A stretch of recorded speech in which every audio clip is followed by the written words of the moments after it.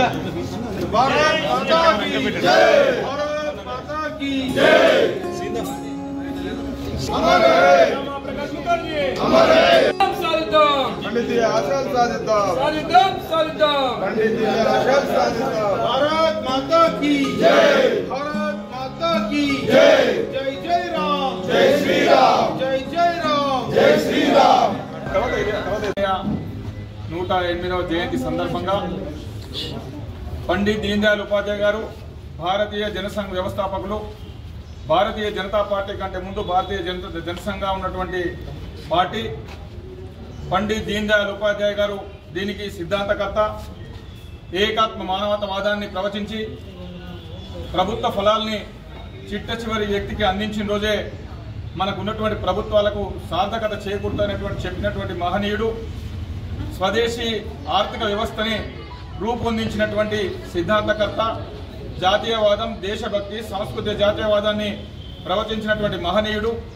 ఆయన జయంతి సందర్భంగా ఈరోజు ఆర్మూర్ పట్టణంలో ఎమ్మెల్యే క్యాంప్ ఆఫీస్లో ఈ జయంతి ఉత్సవాలు నిర్వహించడం జరిగింది. ఈ జయంతి ఉత్సవాల సందర్భంగా ఆ మహనీయుని జయంతి సందర్భంగా కార్యకర్తలందరూ ఆ మహనీయుని స్ఫూర్తిగా తీసుకుని ముందుకెళ్ళాలని విజ్ఞప్తి చేస్తాం గారు.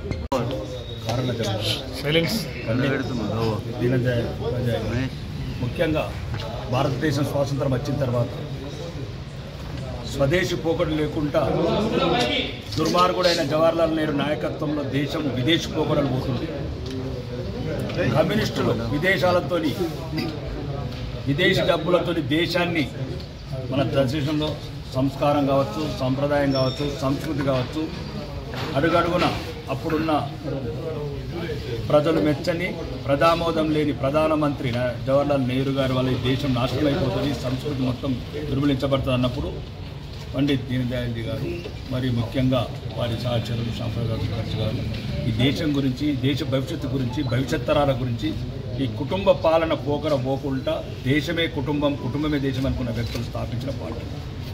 మరీ ముఖ్యంగా పంతొమ్మిది వందల డెబ్బై ఐదులో మళ్ళీ నెహ్రూ గారి కుమార్తె ఒక నియంత ఈ దేశ స్వాతంత్రాన్ని తుంగలో దొక్కి లక్షలాది మంది అమరవీరుల ఆత్మార్పణకు విలువ లేకుండా చేసి అర్ధరాత్రి క్యాబినెట్ ఆమోదం లేకుండా రాష్ట్రపతులు రబ్బర్ స్టాంప్ వేయించుకున్న ఆ ఉక్కు మహిళ కాదు స్టీల్ మహిళ కాదు ఒక ఈ దేశ ప్రజాస్వామ్యాన్ని కాలరాసిన మహిళ.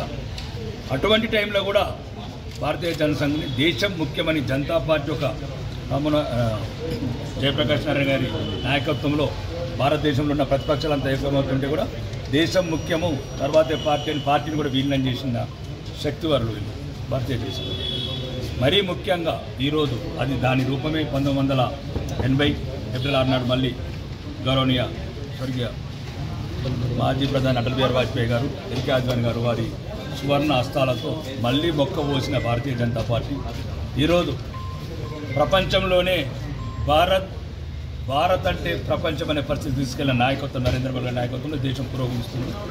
ముఖ్యంగా ఈరోజు భారతీయ సంస్కృతి కావచ్చు ప్రపంచంలో జై అనే నినాదాలు కావచ్చు గల్ఫ్ కంట్రీలలో హిందూ దేవాలయాలు కావచ్చు ఇవన్నీ ఈ మహనీయులు ఒక సదుద్దేశంతో ఒక మహా ఆశయంతో ఏర్పరిచిన ఈ పార్టీ వల్ల ఈ సంస్థ వల్ల ఈరోజు మాలాంటి వాళ్ళం కూడా అందరం ఈ దేశ సేవలో కూడా లీనమైపోయినాం. ముఖ్యంగా ఇప్పుడున్న యువత కూడా నేర్చుకోవాల్సింది ఇట్లాంటి మహోన్నతుల జీవితాలు వాళ్ళ త్యాగాలు చదివితే భారతదేశ విలువ తెలుస్తుంది. లేకపోతే మన దేశాన్ని సొమ్ము తిని మన దేశంలో రాజకీయ పదవులు అనిపించి విదేశాలకు వెళ్ళి మన దేశాన్ని తిరుగుతున్న తల్లి పాలు దాగి రొమ్ము గుద్దే రకమైన రాహుల్ గాంధీ లాంటి వాళ్ళ పోకడలు తెలాలంటే యువత ఇట్లాంటి వీరుల విజ్ఞుల చరిత్ర తెలుసుకోవాల్సిన అవసరం ఉంది. దాన్ని బట్టి ఈరోజు మా అదృష్టంగా భావిస్తున్నాము. ఒక శాసనసభ్యుడిగా నాకు